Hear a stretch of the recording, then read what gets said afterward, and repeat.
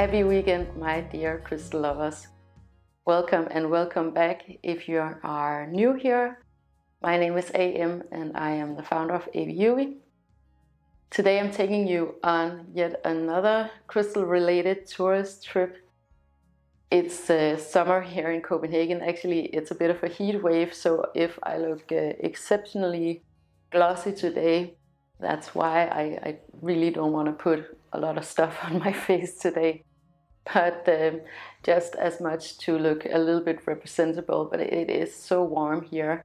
And it feels like actually everybody has left the city, gone to the oceans, gone to the summer houses, go, gone to their parents' uh, houses or whatever. Or also, like it feels like everybody is in Italy, but it feels like that every year.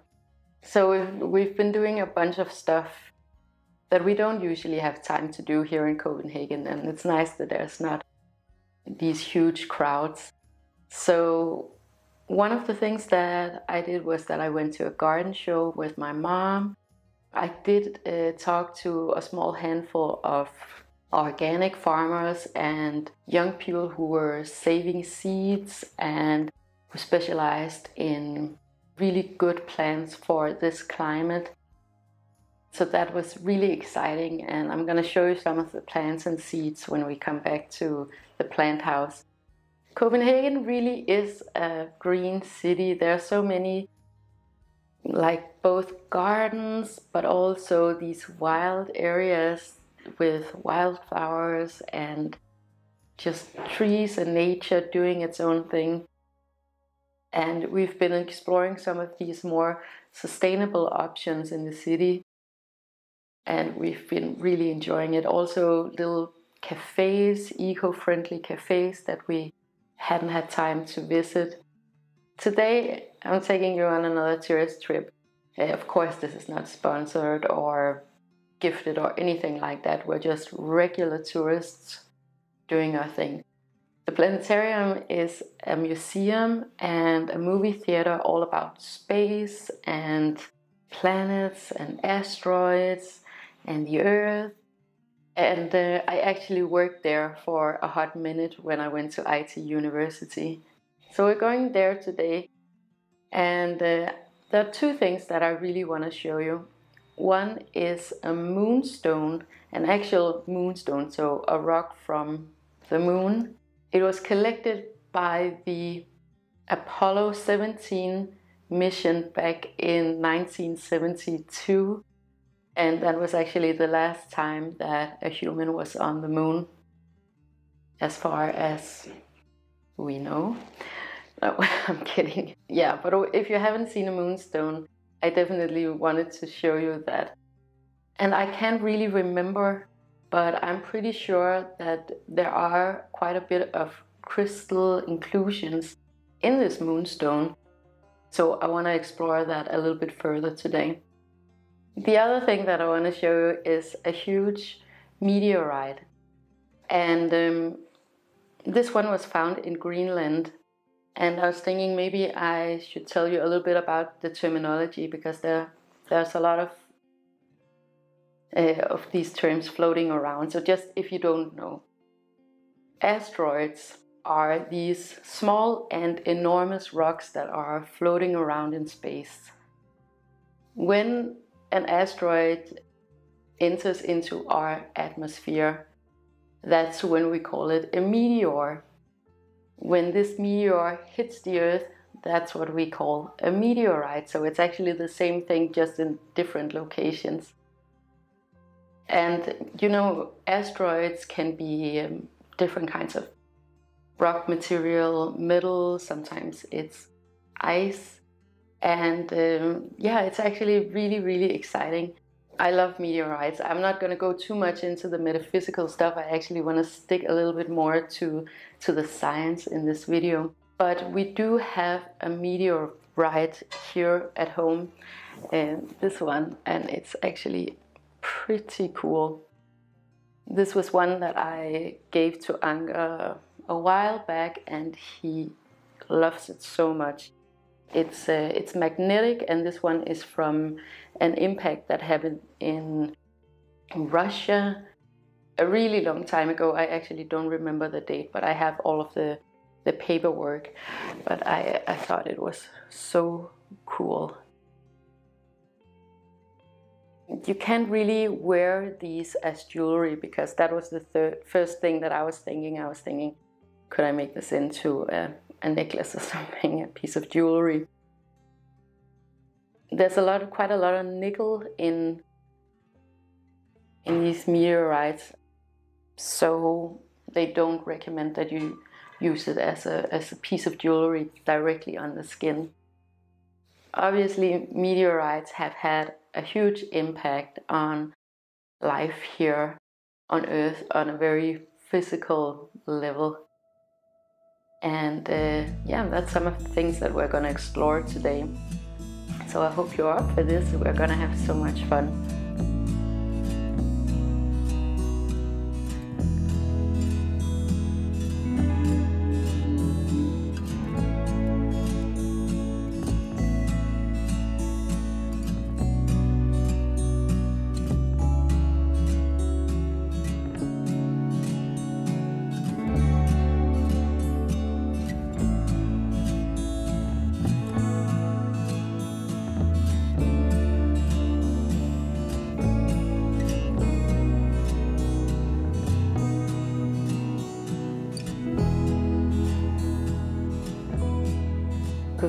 Morning. It is the next day, and we are back home.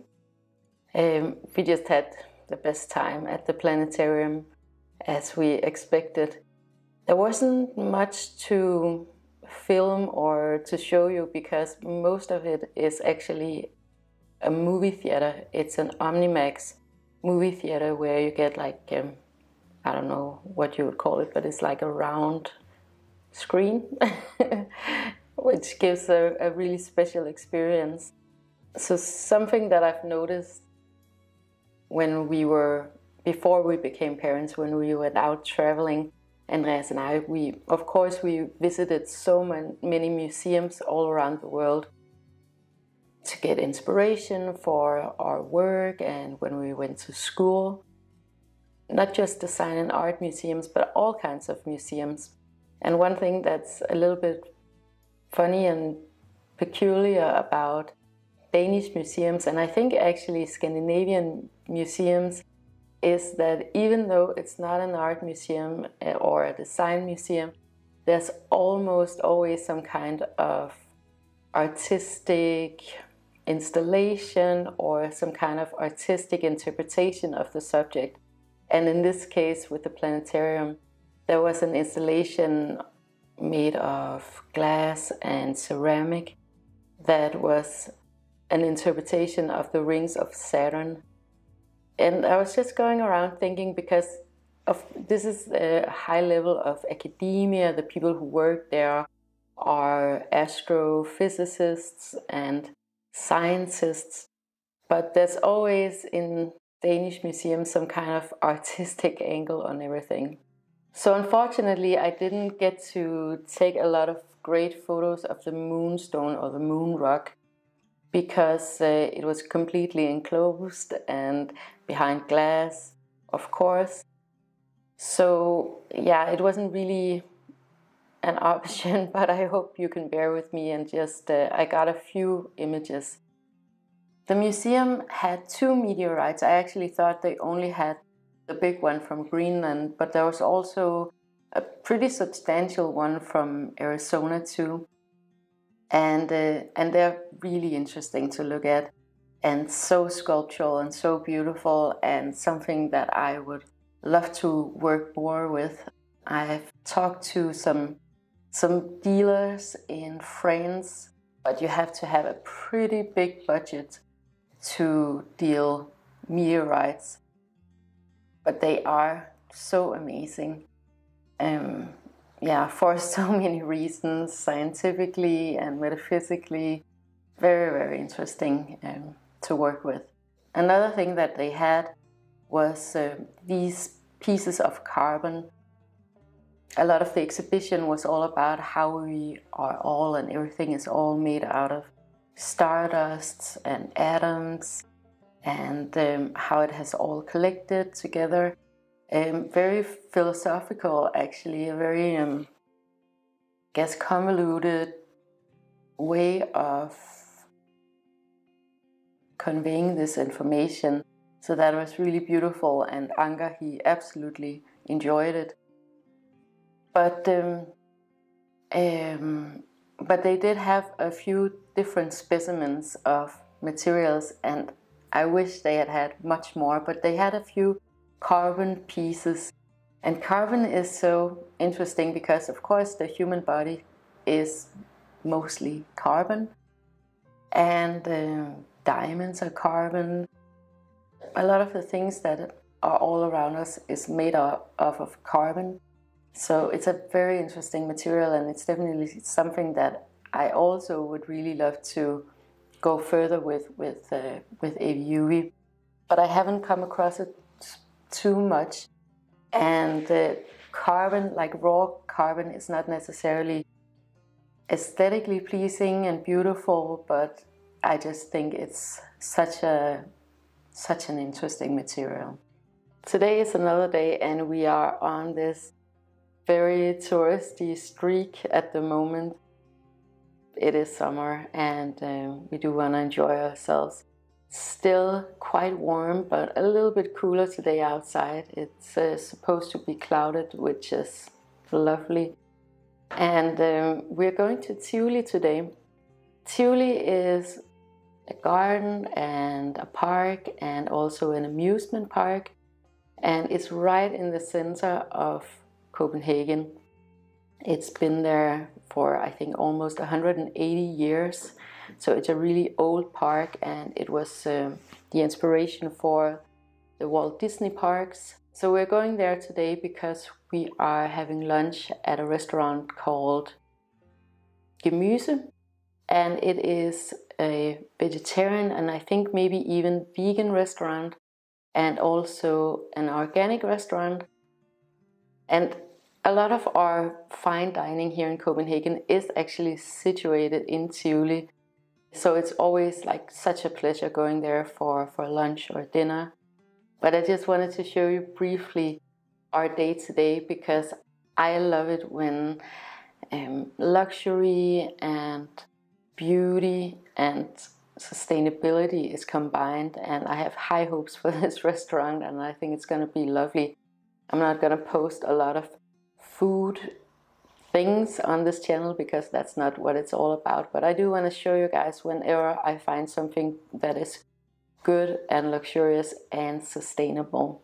So I'll leave you with a few images of our trip today. And I just want to wish you the most wonderful summer and the most wonderful weekend with so much love to you and to yours.